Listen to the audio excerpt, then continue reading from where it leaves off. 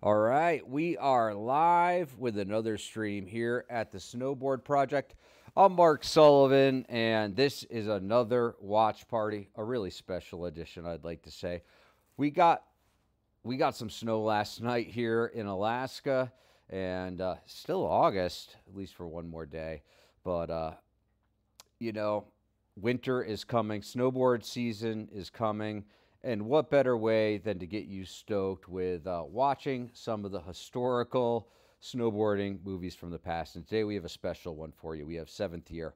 So Seventh Year was one of the first, um, one of the first freestyle movies, and by that I mean, um, you know, jibbing, street riding, spinning. It came out the same year as I believe the Hard, the Hungry, and the Homeless, and and so, man, this movie really featured some of the first street riding in the history of the sport. We're going to get into that here with the guy who made the film. Before I bring him on, uh, if you guys haven't subscribed yet, please consider subscribing to our channel. Hit that bell, then you'll get notified every time we go live. Also, you can donate to help make more watch parties happen at patreon.com slash the snowboard project. Please consider donating uh, to the snowboard project. So anyhow, without further ado, I have Steve Blakely here. Hey, Steve, how you doing? Can you hear me?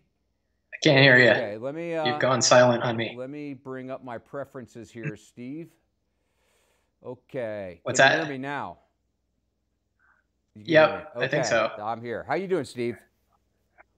I'm good. How are you? So where I'm good, by the way. Thank you for asking. Um, I, I felt like a telemarketer there for a second. Thank you for asking. Um, anyhow, Steve, where have you been for the last 30 years? Uh, dude, it's cutting in and out. I can't, I can't hear you all that You great. can't hear me all that Um, great. Okay, hold on. Let me pull out my microphone. Is that any better? Not really. I'm getting like it's like a bad cell phone reception right now. You can hear me through the stream, but you can't hear me through the cell phone. Shit. I hope it's not mine. It, well, you know what? These things on, we're, we're bound to have some problems with these things. So um, that Of course, we're we're just fine for like 30 minutes before oh this yeah, too, fully, right? fully good for 30 minutes. And can you hear me now? Um, Can you hear me now? hang on. Let me mute and unmute. Can you hear me now? Can you hear me now? I don't know. Oh man. Hold on one second. We'll get there. Whoa.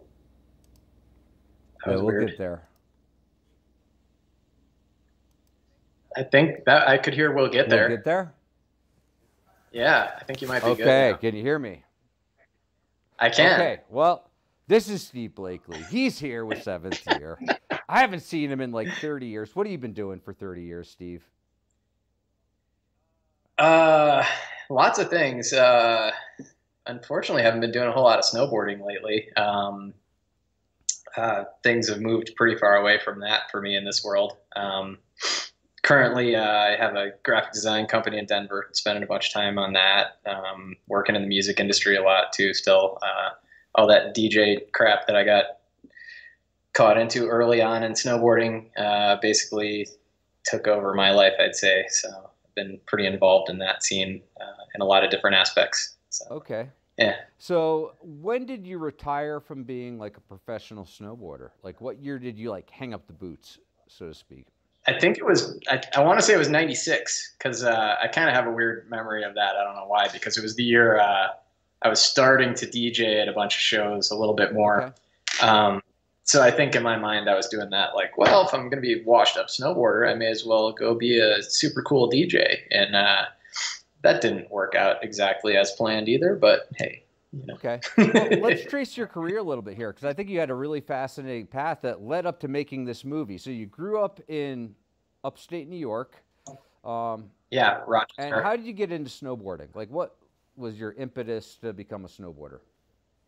Yeah, it was actually pretty awesome. Um, uh, when I was, you know, whatever, 13 years old was when skateboarding was really blowing up.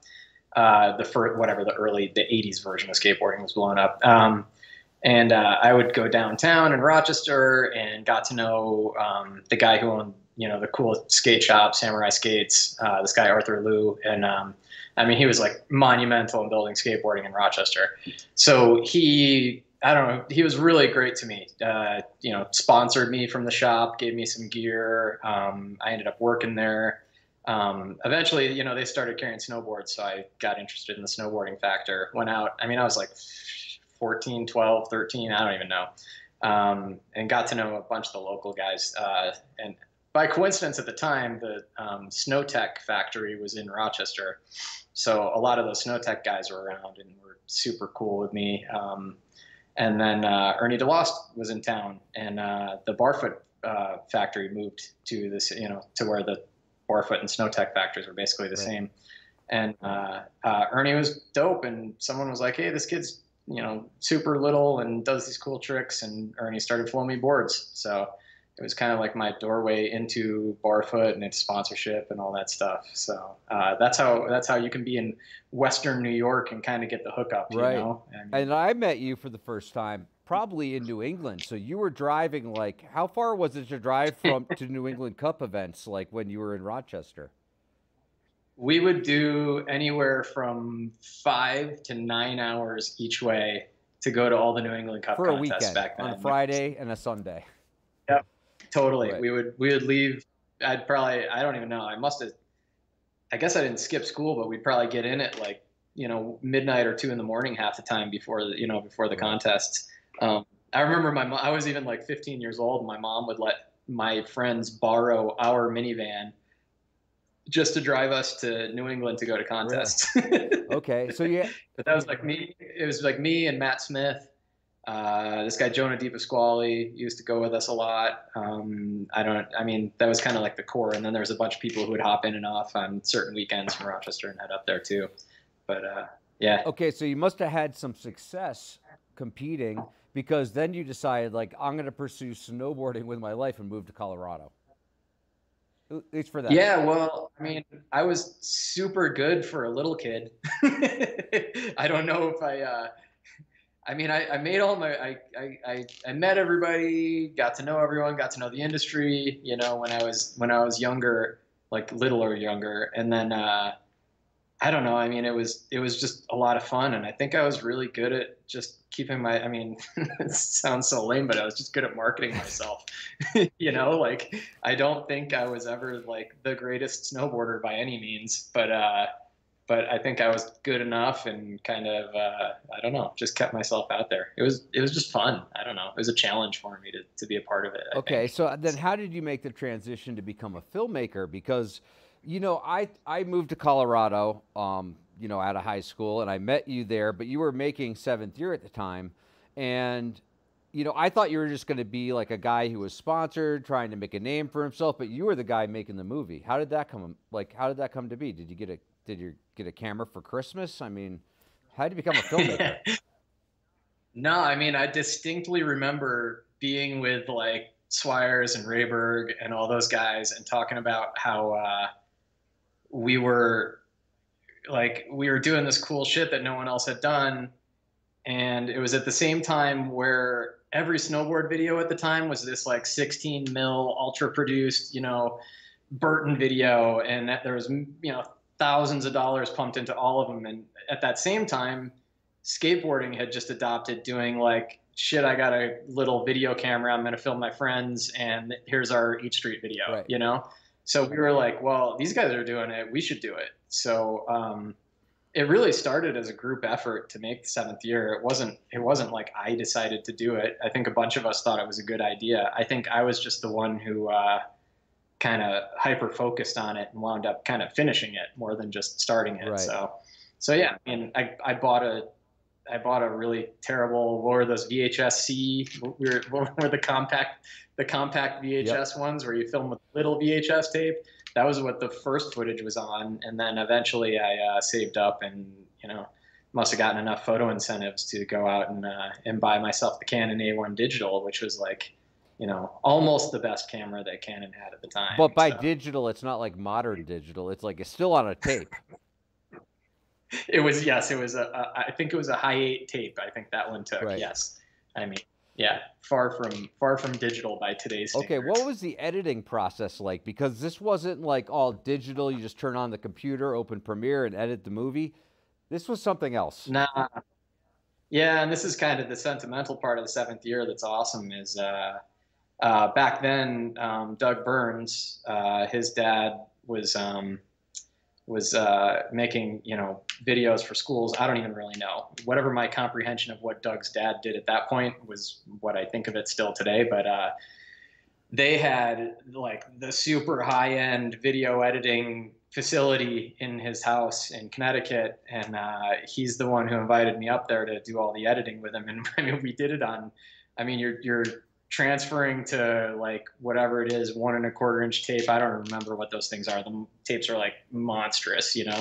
And then uh, uh, editing all, you know, you're marking times on all your tapes where you want to grab this clip. And I mean, we literally had just like notebooks with just like 13 minutes and 27 seconds of tape number seven is Roan Rogers jumping off that fucking whale at Copper, you know?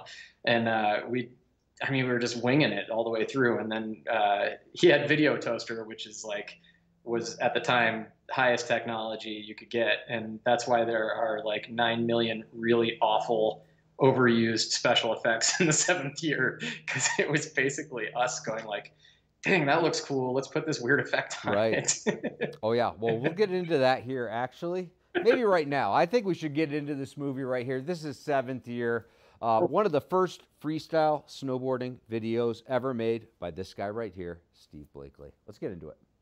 let's let's do it. All right. And by the way, guys, if you have comments, you can leave them on here and they will post up on the screen. So leave your comments. And we'll try to address them. Gotta gotta love the FBI warning. Uh, I, the the because my friends have guns. Uh, commonly known as Tarquin Robbins. Right. Commonly known as Tarquin. I'm not sure why the FBI had to be involved with that, but anyhow, Tarquin had a gun. Yeah, yeah. Oh, there's the. Uh, that was the, Maybe the first cheese PK. wedge ever. Maybe. Yeah, PK kickers. I remember those were. Those Yeah. were like freestyle ski jumps, and when they melted out and the resort closed down, um, you know, Dale and Roan and Nate reshaped them into like these cheese wedge jumps that were like, to my knowledge, like the first big cheese wedges ever. Yeah, because you did have to clear a big flat, you know, before you hit the Exactly. landing. But- Exactly. And a dude Yeah. smoking cigs, you're not going to see that in a snowboard video anymore. there's a there's Iguchi rock rocking like the first seven twenties I think Right. in the pipe almost like ever. Yes. There's like stump, lots of jo- let, lots of bonking, lots of jibbing on wood. Not a lot of metal jibbing yet. There's Matt Smith. Yep. No, there was no metal. Remember the Breck Park that year was like. Actually, I don't even know if they had a park yet that year, but for the first two years in the Breck Park, they wouldn't put any metal. It was just big logs, you know? with like knots on it, like sticking out. Yeah, yeah, yeah. Speaking of, there's the copper Yep. pipe, I know, Bogdansky, so smooth. Like I think that like Bogdansky might be underappreciated for his style. Like he just makes it look. Yeah. Here's There he is. yeah, right it's there. just so Yeah. smooth. Joe Bogensite, Joe Yeah. Bogdansky, man, respect. Nothing but respect there. Yeah. Roan. And of course, Roan. I mean, really, this is like the battle of style between Roan and Joe almost, and Nate and Nate. Yeah, Nate was Nate We just had a different little skater style yeah. for sure. I mean, those two, those three guys really embodied style to me. You know. yeah, yeah. Oh, it's like we were saying too, though. It's like you know nowadays you can't even do half of this stuff because your ankles won't bend. You know. Right. Now, this might be like one of the first movies that Roan filmed for. No. yeah, for sure, for sure. Yep. Yep. Stump of manhood. Uh, First yeah, comment. That's what's up. Yeah, there you go. We had all just moved. I mean, this year was the year for some reason that the Midwest and the East Coast all descended on Summit County like all at Yeah. once. You know, I mean, at least a lot of it. Obviously, there's people before and after, but it was it was a big year. There's Smitty with his big old hat. Yeah. There's Joe again. Joe's easy to spot with the Sunset Bay jacket. You know what's funny? He bought that jacket. I used to ride with Joe all the time, but he bought that jacket because Roach had that jacket at New Kids on the Twalk. well, there you Yep. go. Here, I'm going to bring this Oh. up a little bit. That's all right. I don't know why I thought it would be funny to take uh, clips of heavy metal and put it in Right. here. I think uh, Yeah, interesting soundtrack you have here. Oh yeah, we went through and pulled some uh, some classics That was out. me. Just saying. I mean, I, of course I cleared every song. Uh, believe yeah, me. I always do that. So awesome to do. Ooh, the double stump. Don't forget the double Yeah. stump. Oh, That was uh, Dale. oh, not making it. There's Sweeze Yeah. right there. So smooth too. Sweeze had great style too. And Noah Brandon, speaking of the style, Oh, and Mike Estes, obviously practicing great I know style. Estes had some post on LinkedIn the other day, like I got a job at Taco Bell. Oh, And- no. No, he's not working at Taco Bell. Estes. He's just like throwing us off the, the scent. yeah. Oh, that's that's a yeah. I, I get yeah, that one. nice low compact Baugensai Yeah, and Roan. and it's we seem to follow. It seems to go Joe, Roan, Nate in order on all Right. these. And this is what we wrote. I mean, this is called Mario Land, and so this was Yeah. that was me. Oops. Um. Anyhow, that uh Mario Land Oh, was like a run that we did so a- many times, Oh shit! I'm not thinking. just in copper. There's random shots of me um, putting uh, Mack Dawg's film crew in here too, because uh, I thought it would be funny. I know. I saw that. I saw John Krieg in here as well. Yep. Oh, that was Krieg. That's right. Krieg. That's who I was trying to think Yep. of his name. Yeah, yeah. But this There is pretty go. much Latner like every day. This is the beginning of jibbing right here. So a lot of the time, we would literally. There's E. Here, that's E. that right was me right there. Look at that eating shit. Oh man. Yeah. Thanks for holding that shot and showing the doctor right there washing his hands. Thanks. Yeah, that was me. Great. With print pants you were rocking there too. I don't know why I found this shit so funny, but it's just like Yeah. just Roan just not able to walk Yeah. up So he's hill, gonna go around. and then Nate just goes right up it like it's nothing. Yeah. More heavy metal. Yeah. and boobs. You had a little boob clip. Like like if we put two frames in, no one will see it. Little did we know it's like 20 frames actually. Yeah, here's here's some of the fine uh, Yeah. What is up with this stuff? I was just like, huh. effects. Oh, this is a built-in effect for a video toaster. Yeah, this was uh, Jason Ford renting a car, and they gave him the crappiest little car. I don't know where it's. I can't remember where this was. But yeah, there's Iguchi destroying the uh, owner's manual. Right. Teenage Iguchi. This is this is the rebellious snowboarders wrecking Right. shit. Showing up at Round Table Pizza for all you can eat pizza. And let's see how much we can rock the Geo. It's a Geo. right. I noticed it was a Geo. I was like, huh, Geo. I was like, we go side to side or up and down. It's up to you. and then back to Okay, the- this section, double- this is like the first cheese wedges right the here. combo. That's so sick though. The the the blind fakie to forward 180 was like huge back then off of jump that big. Yeah. Nate doing it right there. There's Yeah. Richie. Gee. Yeah, Sigh. Russell Winfield making an appearance. Little cameo. Yeah.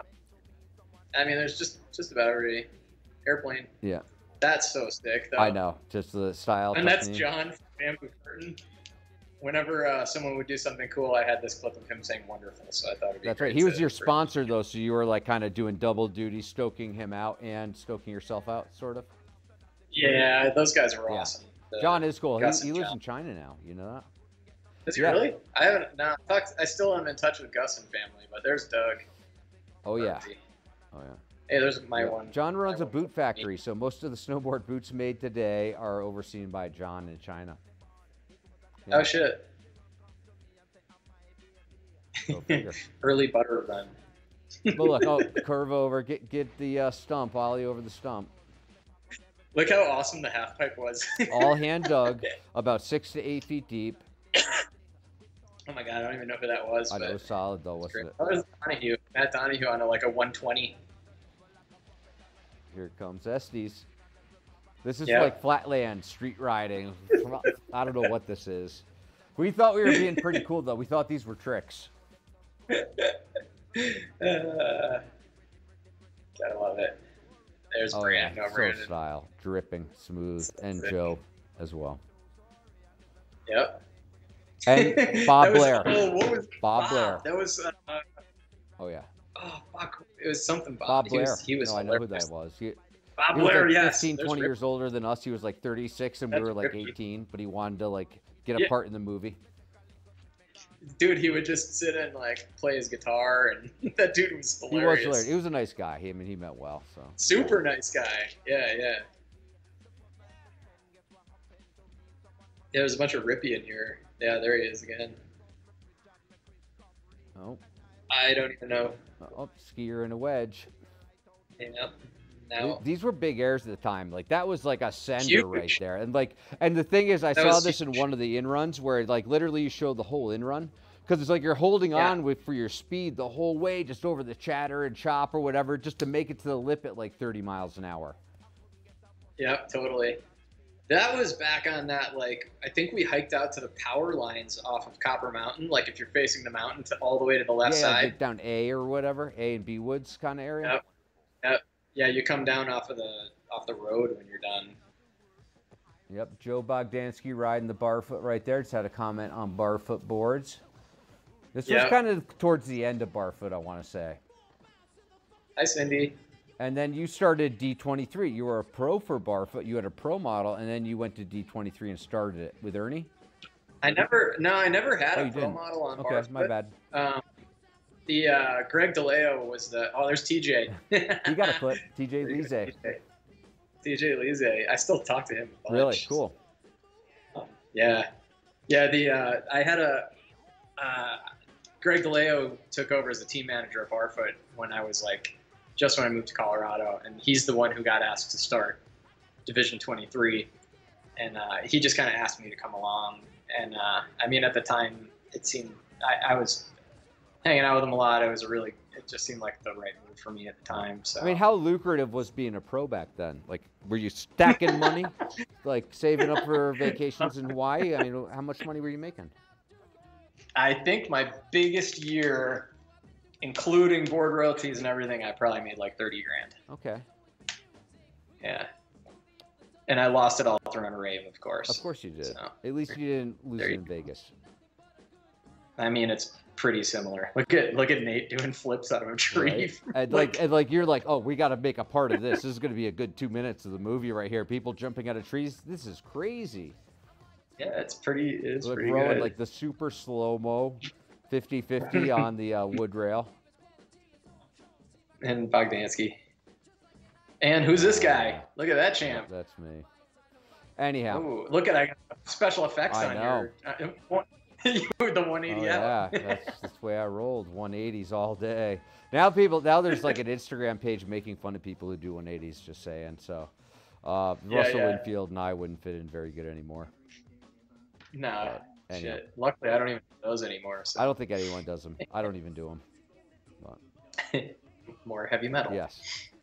That, that was like the undercurrent of this whole thing. So what, what am I supposed to learn about heavy metal by watching your movie? absolutely Okay. nothing. Like absolutely Right. nothing. More special effects. Solarize. Fade into Todd Richards. Right. Richards was like a half pipe king back then. Look how crappy the half pipe is and look how good he rides it. It was really just a kicker. That was Jason Bump, I think, right there, with a long yeah, hair. long hair bump. It's like, oh, bump. Was that long hair bump or short hair bump? Oh, that's that's gotta be Moran right there. I think that was Jim Moran.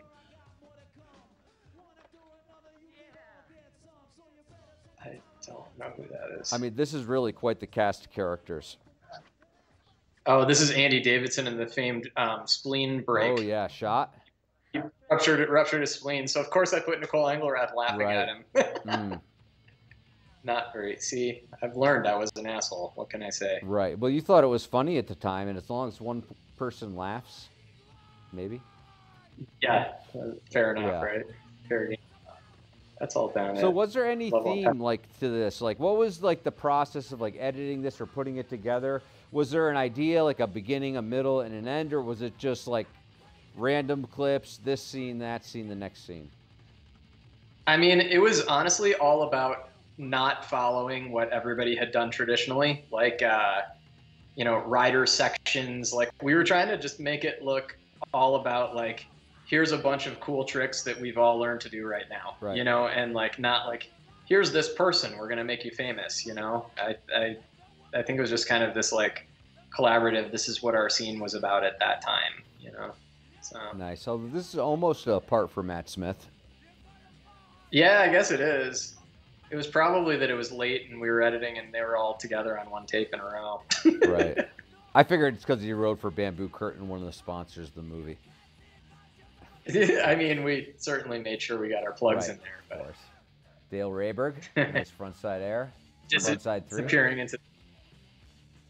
That was fakie to fakie three, wasn't it? I think it was a fakie to fakie three. I was there that day. He was wearing like uh, like overalls, cotton overalls. That's when, by the way, when we were filming this movie, Roan and Nate and Dale like rode cotton fat pants. Yeah, they did, and cut all their boards down that year. That was the year everyone cut their boards down. That's right, because prior to this year, all the boards had these long, extended rocket-shaped noses, and then like Yeah. Nate Cole maybe traced a pie plate over the tip of his board, and was like, "Why do we have all this extra nose?" And then cut it down, and the rest is history. That's the modern shape of snowboards today. Totally. Here, let me bring this up here. Yeah. Carvin dude. Carving fakie. Grabbing a little nose. Grabbing a little nose, Yes. carving to fakie bros. that was Smitty with the the switch method to to 180. I mean, that's the thing. It's like these tricks literally range up to maybe 540 degrees of rotation, right? So they're not even Oh, on no, the like I- scale with like modern riding. I think I think Iguchi doing the 720s in here was like the first 720s anybody was ever doing on in Yeah. pipe, like period. yeah. Like, I'm, I'm almost positive because it was when we were up at uh, we I mean it was when we'd go up in the summers up to um, up to uh, to Mount Hood and everyone would just crank on half pipe tricks all day. right. long. Now, were you more of a half pipe specialist, free riding specialist? What did you consider yourself as a rider? I mean when I was like a kid and I was in the junior categories I was great on the half pipe, so I always enjoyed riding half pipe, but I think I turned more into like a free rider basically. Yeah. I mean, back then though, there were so many half pipes like at every resort. So really, you could be a half pipe rider and not specialize. Let's say today to be a half Yeah, pipe rider, you got to like- like fly to half pipes and train only at those half pipes and stuff. Yeah, I don't envy what these kids have to do these days. I mean, we weren't scared that every trick we were trying to learn was going to break a bone if we didn't make it. You Right. know. this is the uh, the mandatory skateboard section of every snowboard I mean, video. but by the way, it's like just as these tricks weren't going to break us if we didn't make them, like the riding wasn't lucrative enough for the pros to really make it so you wanted to risk breaking a bone every time. I just don't. I mean, it's like you watch progression of sports though, and you think anybody who's involved in a sport at the time they're involved in it just can't picture how it could possibly get any crazier, and then it just does. Yeah. You know, I mean, like we thought we were doing crazy stuff, and now it's like stuff that like kids learn in their first year. You know. I mean, really, it's like, oh, Chris Franson. Look at little Chris. Franson. But it's like, uh, you know, within two years, probably any new rider could learn the tricks in this movie. Oh yeah, no doubt, no doubt. Yeah, yeah. This is kind of funny. I got it. When we get to there's a skateboarding part in here with this kid Sammy up in uh, British Columbia, Whistler. and I swear, I don't know where it is, but oh, this is that Jason Bass kid. He was fucking Bass? good. Yeah, Jason Bass. Yeah, Bass. I mean, look at. I mean, he's doing like crazy technical tricks even 30 years ago. You know. In France and when he was like seven. Yeah. I mean, this was kind of like you putting your exclamation point of like, no, we're freestyle, we're influenced by skateboarding, straight up. Yeah, totally. Okay, so this is Whistler? yeah, so that's Iguchi. Yeah, it's up in Whistler. So I met this kid up there, this kid Sammy, and he was doing uh, he was doing shifties, hmm and it was like right when shifties were just the new skateboard trick, and me, I was like, oh shit, I can do a cool trick, and I don't even have to grab my board. So man, I was all over that. So. I, I mean, I'm gonna claim. I'm going out on a limb right now. I'm claiming it publicly. Publicly. I, I was the first one doing shifties on a snowboard. I'm gonna claim. it. Wow. Totally gonna. Bold claim, Steve. I like that. I like that. Going out I mean, it should be something. And I should be ashamed of it, basically. you guys feel free to leave your watching comments on here. Steve will see those here.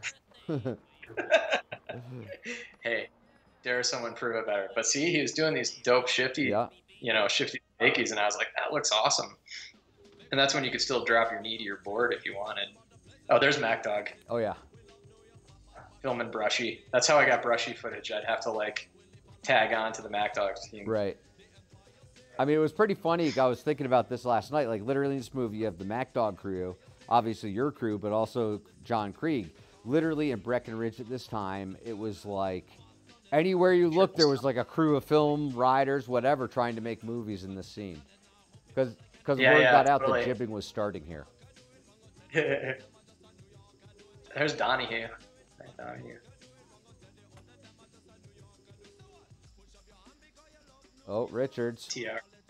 With the with the rare bail on a I know. frontside I think 360. that was like the first time I've seen Richards crash, maybe in 30 years. I think I think that was part of the fun of doing this movie too, was just making everyone look like human kind of, you Yeah. know? Like Matt Smith with the glamour hair. Look at that stuff flowing. He definitely had unique style for back in those days. Uh, he was so smooth. He was he never really got as big as I think he ever should have, you know? He was he was so good. I think a lot of people pretty much like either it just wasn't lucrative enough or for whatever reason the people who were really good at that time kind of moved on. You know? There's Esty smashing one of my old boards just for the purpose of putting on a Is, video. that, is that's why you did it, basically? Yeah, we were just being dumb. I don't know. Look at that disaster reaver. You can't do those anymore because you're gonna like end up No. 20 feet into the flat bottom. right? That was a super fun trick though back in the day when you were doing four or five foot airs. Yeah, that's sick. That invert's awesome. Oh, switch back 180. That's Roan when he was still on a Burton board. Really? Yeah, because some of the stuff we started early, filming early in that year, and everyone was on like, I think everyone picked up the Joyride stuff kind of mid-year. There's Trevor Graves, Yeah. This is like the first Here's the rail fir- session. the first hand railing ever, as far So, as I know. Street riding. I got a lot of started in one place here. and one place only, right here in this video. This is the first street rail ever ridden, right here. I, I'm pretty sure that is the first. I'm pretty sure, ever. actually, too. I mean, prove me wrong, right? Prove me wrong. That, I mean, I remember these guys coming back that night and telling me they were pushing each other at a railing in the middle of town in Breck, and I was like, "What? What are you doing?" And they're like, "We're doing handrails on snowboards," and I'm like, "Cool, let's go film it."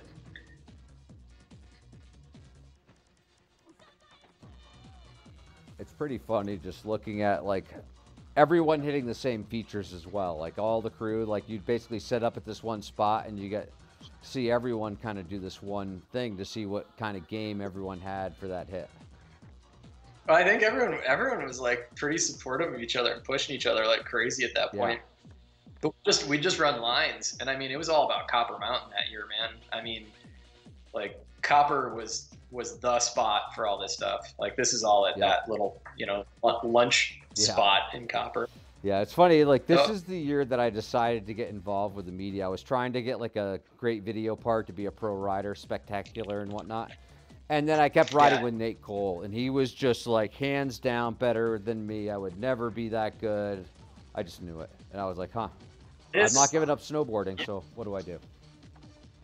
Yeah, yeah, yeah. Those guys are so good though. But that rail right here, this is like, this was like insane at the Yeah. time. Like absolutely insane. We couldn't even believe these guys are doing it. Yeah, I mean, and these are all wood rails, you know. I mean, like, oh, this was dope too. I forgot about this one. That was like some condo complex off of like four o'clock run in Breckenridge. Yeah. a little more heavy metal. Judgment.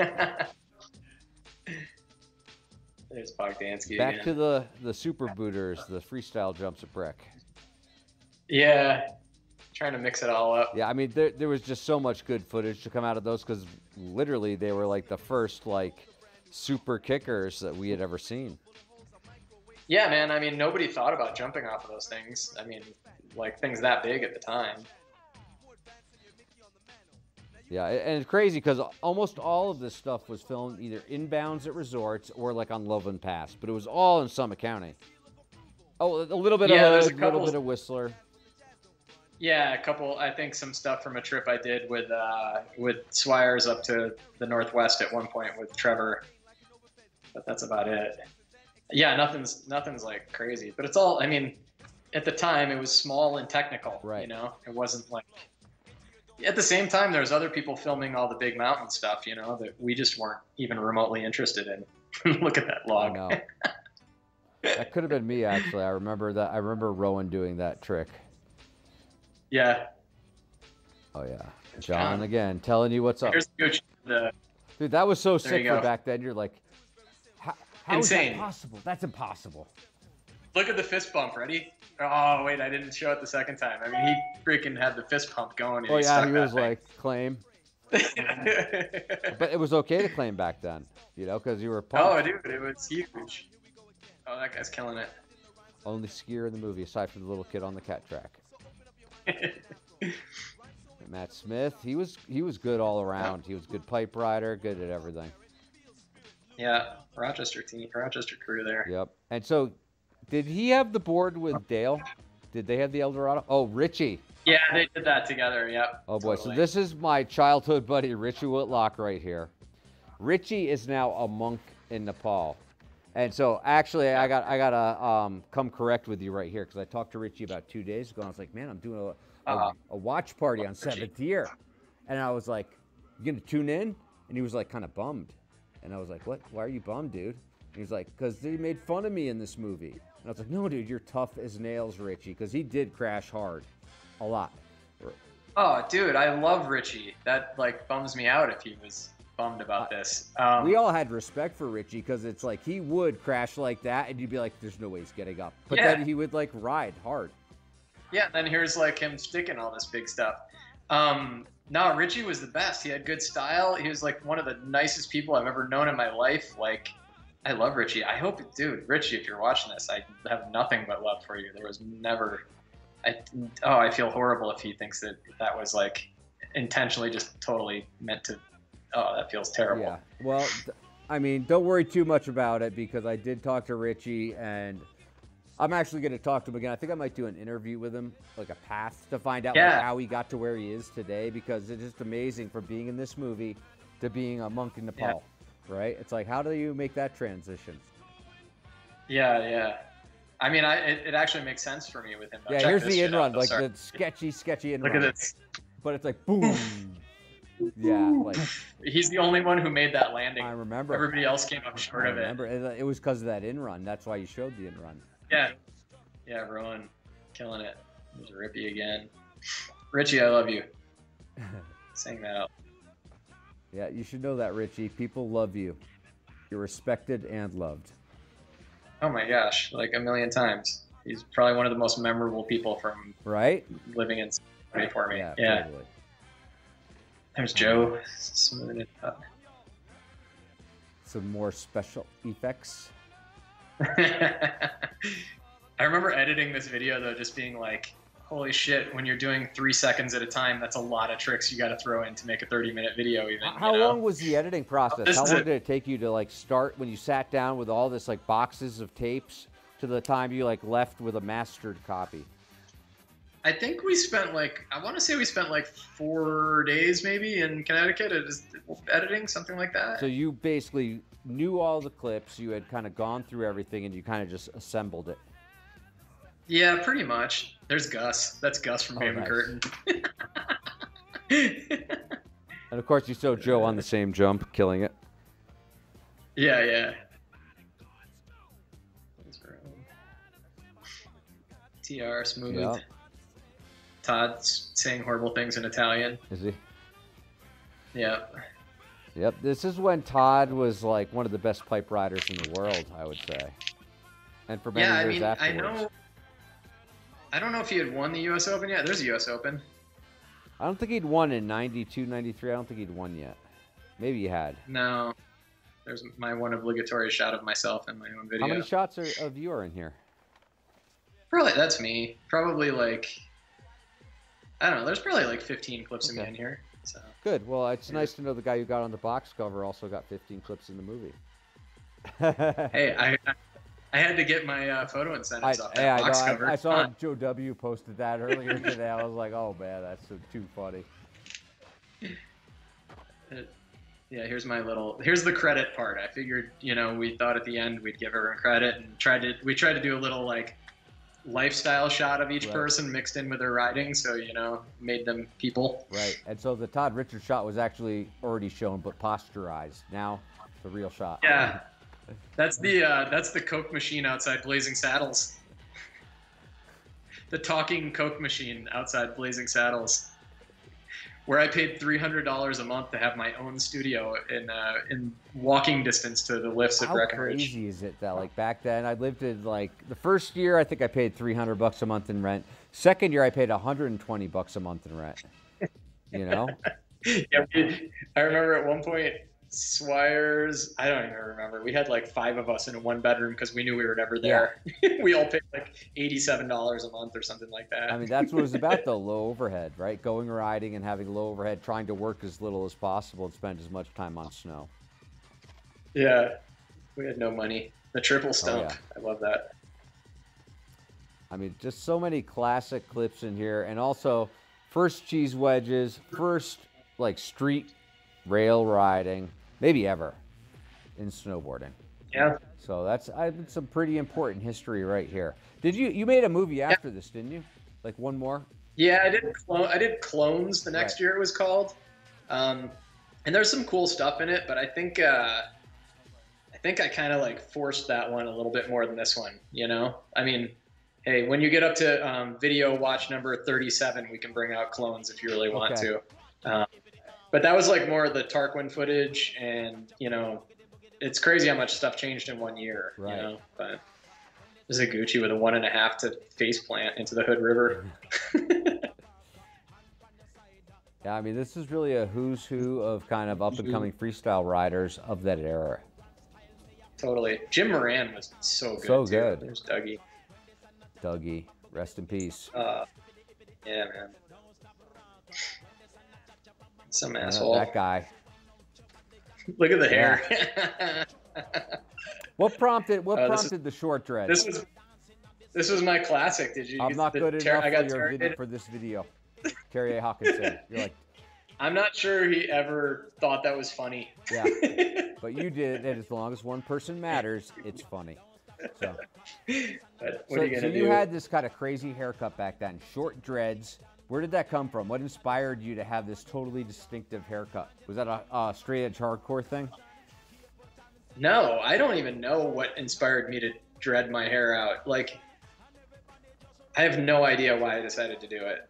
But yeah, I rocked it for like a couple years, I think, Ironic. because it definitely it got longer. But I was gonna Yeah. say, ironically, as as many credits of people skating as actual skating in the movie. uh, oh, Alexi was in there. I forgot about Alexi. Garrett, yeah, Nix, Chris Nix. Oh Yeah. yeah, I forgot Nix was in this Yeah, I one. saw the one. I saw the one.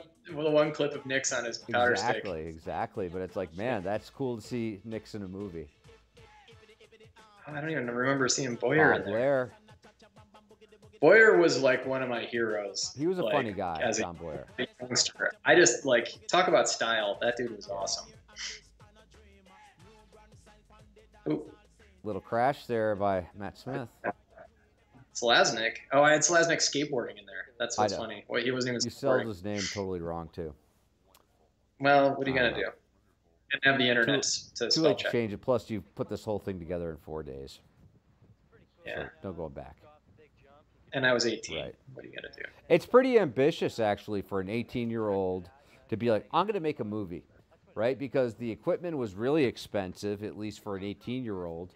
And, you know, all the competitors who were out there were making like 16 millimeter movies, high budgets, et cetera, et cetera. You know, so it's like this was actually something pretty unique at the time to just be using videotape, you know? I thought I was hilarious. Look at all these credits. I forgot about that. I have Lord of Lords Jaw. and I think we thought that if you gave credits to the people that you ripped their music off of, it was okay. Right. Yeah, I'm promoting So- you. I'm promoting you. Yeah. Yep. Yep.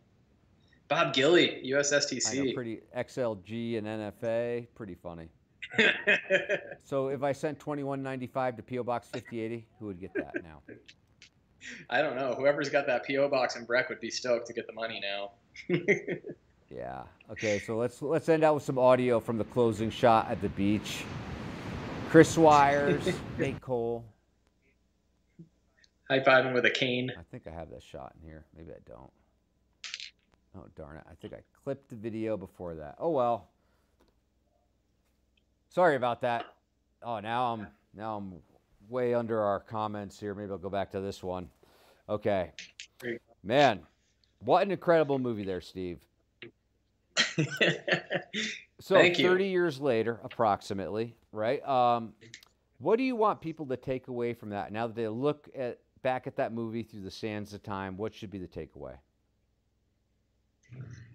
I don't know if anyone needs to take anything away from that. It's just it was purely meant for entertainment. I think it actually I'll take that back. At the time, it had great purpose. Um, at this point, uh, I mean, for me, it's just a good walk down memory lane, see a bunch of people that I don't talk to too much anymore. Um, yeah, at the time though, I think it was just about like showing people that we were trying to just be different than what was the standard in the industry at the time. You know. Yep. So when you look at like snowboard movies that come out today or edits that come out today, does does you being a filmmaker does that affect your perception of how you like digest content now? Not with film because I didn't really pursue it any further than those first two snowboard movies. You know, um, I kind of thought I was going to go that direction. I guess I thought I was going to do a lot of things. Um, so yeah, I don't think I got deep enough into like like directing or um, editing or producing films that that became sort of uh, one of my main things in life. So I can be pretty objective at this point. Yeah. Okay, so who was Yeah. the best person to work with in that movie? The person that you were just stoked if they wanted to go out shooting that day? It didn't work that way with that movie. We were all like, we were all riding together anyway. Those were just my friends at the time. I mean, there was no like, hey, let me call up Dale and see if he's available today to go shoot video. It was just like, we all lived together, we all traveled together. I mean, Hey Dale, you're one of five people who live in this studio apartment. You want to go riding again? I mean, yeah, there was nothing like that. I mean, it was just that was the most organically made video like that you could possibly make. There was nothing planned about it. There was, you know, absolutely nothing like that. It was just it just happened. Right. Okay, happened so you know, I mean, even how, how did you distribute this movie? Like, I mean, there's a lot of it's it's pretty challenging to make a movie. What was your like distribution? How did you get it out there? Because I know people all over the world saw this movie. well, that's where like Barfoot and Bamboo Curtain helped me with that. Mhm. Um, so those guys, uh, like Gus and John, got me Japanese distribution, you know, and we sold we sold quite a quite a lot in Japan actually. Um, and then I think uh, I can't even remember who was distributing Barfoot at the time, but uh, they picked it up for us and pushed it through their distribution for America through the U.S. So. Um, I mean, it was pretty easy to sell, actually. Um, I couldn't even I can't even come up with a number off the top of my head of how many we sold, but um, I do know that I made, I made, I think I made more money that year making that video though than I made snowboarding. Right. I Uh, mean, people don't understand that today because there is no profit model in video. But back then, you would make a video and then reproduce the copies. People would buy the individual copies, and then you would get a commission off every copy that sold. Oh yeah, I mean, I, or I would just, I was wholesaling them. I mean, I paid to have them produced, and then I just wholesaled them to the distributors, and then they, you know, they, so you know, it gets its markup. It's like anything else, but like, I mean, I don't know. We saw at the end there, it was selling for twenty bucks. I was probably, I pro- they probably cost me like five bucks each to make or something like that, and I was probably selling them for eleven or something like that. You know, so Right. Okay. So, final question: Out of the whole movie, what was your favorite shoot? Your favorite day? You know, your favorite session? Whatever. Like the the best part of like making that movie. Your highlight. Oh man, I don't know if there's a day. I think it would just be more like like the. I think the stump runs were like were like the most unique thing at the time about everything. shit, man, I don't know though, because then you got like railings that were all like crazy and new. Like, I don't know. I don't think there was much. I think maybe like the powder shots were maybe the most boring out of all of them. I would say, you know. Yeah. and the rest was all pretty cool to do. So, I think that's the year we all discovered powder, though. It'd be like, oh, this is actually pretty cool. well, you grew up on the East Coast, you have no idea Yeah. what powder is. I know, I know. So You get pretty, 20, pretty 20 amazing. of snow is a curse because you can't move because the hills are so flat. I know. I think I think a lot of people like the first stopping point was Colorado and then Utah and wherever. you yeah, know. Except me. I just stayed here. All those Yeah. all those sellouts who moved off to San Diego, you know. I think a lot of people actually in that movie moved to San Diego to away from the mountains actually, but you stayed in Denver, so that's respectable. It's cool. Uh, and so what what are you doing now? Like what what are, what's like occupying your time? You got kids, a family, you know, 30 years on, past snowboarding. What are you up to? Yeah, I mean, things are good. I've I, I've been married for 16 years now. I've got two kids. I've got a nine-year-old daughter, a five-year-old boy, um, which is by far the best part of my life, no matter what. Um, I started a design company, so for the last 22 years now, I've been doing graphic design, um, kind of primarily in the um, in the music world. You know, we do a lot of music festival art. We do a lot of art for um, for artists and, and that kind of stuff, um, which is in the current climate maybe the worst thing possible, but uh, but so be it. Um, and then uh, I still go out and DJ a bunch. I mean, which is again a story of who you know that allows me to still do that. Okay, what was the last time you went riding? Yeah, uh, I did go twice this year, Okay. but uh, I am insanely inflexible at this point uh, to where it's disturbing. And uh, most of the time, I just spend cruising around with my kids at this point. You know, so I mean, my last day in the park was probably ten years ago. you know? Okay, right on. Right on. Did, you- did you teach your kids how to ride yet? Nah, they're skiers. Oh, the curse of the No, pro I mean, snowboarder. I see.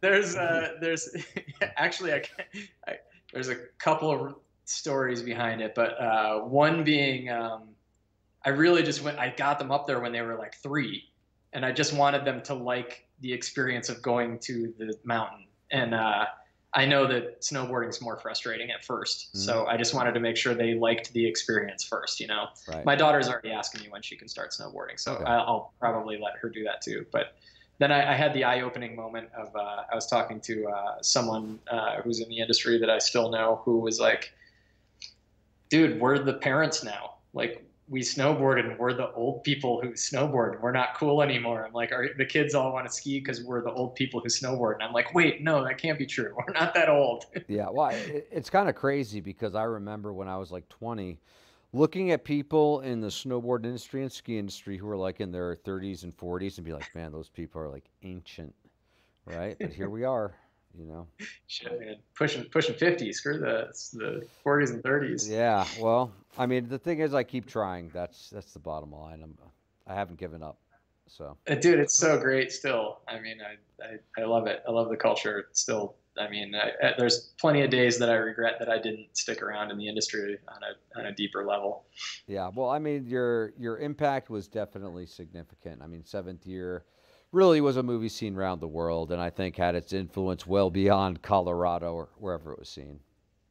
Yeah, well, it was fun to do. And like I said, the one thing I got to say is it really wasn't like I did not make that movie. That was a that was a collaborative idea of everybody who was in Summit County that year. I mean, it was it was everyone together coming up with this this whole kind of sport changing year. I feel like, and uh, I just happened to be the one who decided I would hold the camera on certain days. You know. Did you ever regret that, like being the camera guy? No, I mean, I think I was always pretty aware of like where I stood in the snowboarding industry, which was like, again, I mean, I knew once I was like not just a 14 year old who could do J tears that uh, I was pretty average. so I just always tried to keep myself involved uh, in as many ways as I could, just because I loved it, you know. So Cool, cool. Right on. Well, hey, thanks for being on the watch party. I mean, that of course Ah. is near and dear to my heart. Seventh year. So I, I really do appreciate you coming on and, and sharing some stories from uh, from making one of the uh, the most important freestyle snowboard movies. In that, it was one of the first. So thank well, you. thank you. That was super fun. Yeah, I appreciate it. Right on. It's good to bring up the memories. I Right love on. it. Cool. Well, thanks for being on, Steve, and I will talk to you again soon. Sounds good. Right on. Thank you. And thank you guys for tuning in to another episode of Watch Party here at the Snowboard Project. And we're going to continue making videos, doing watch parties, and a whole bunch of other stuff. We, man, we have got a lot of work going on for this season. It's going to be an amazing year. We're really excited to bring some new ideas to like, like the watch party. So, you guys, if you haven't done so yet, please subscribe to our YouTube channel please hit that bell. That'll uh, let you know when we have new videos coming out. And of course, please go to our Patreon page. It means the world to us. If you donate a little bit of money, you go to patreon.com slash the snowboard project and you can learn a little bit more there. So thanks you guys for tuning in to another edition of Watch Party. Thanks you guys for leaving comments there. And yeah, we'll see you with another Watch party soon. I've talked to Scott Stevens about Susie Greenberg. I've talked to Dave Cioni about Roadkill. We got some stuff coming down the pipeline for Watch parties, so stay tuned to the Snowboard Project channel on YouTube. Thanks, guys. We'll see you next time.